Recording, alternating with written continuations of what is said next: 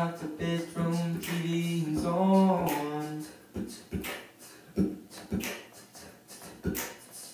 Doing the only thing that gets me through the night since you've been gone.